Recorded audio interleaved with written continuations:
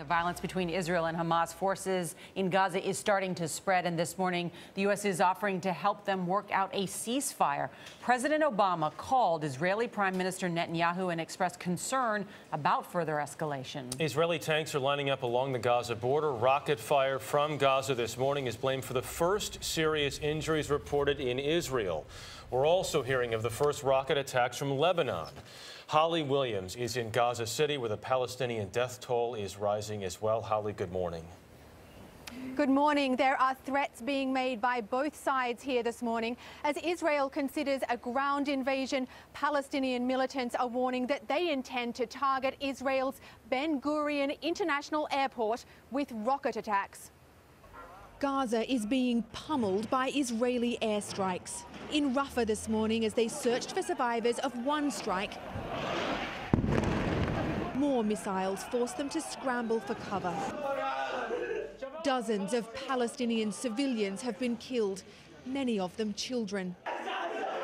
In Gaza, there's an impotent anger with an unseen enemy that strikes from afar.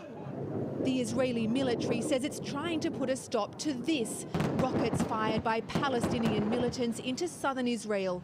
This morning, they hit this gas station in Ashdod, injuring three people, one severely. But so far, no Israelis have been killed, thanks in part to the country's advanced missile defence system, which shot down more rockets over Tel Aviv this morning.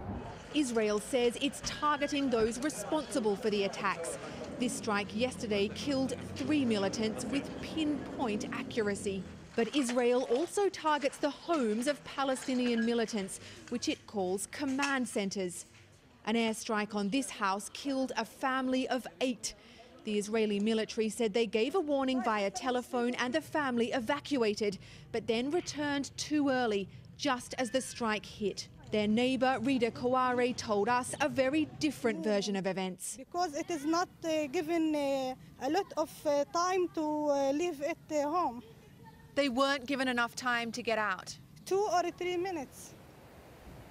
Several rockets were also fired into Israel this morning from southern Lebanon, which could mean that militants there have decided to enter the fray as this conflict worsens. Nora? Holly, thank you.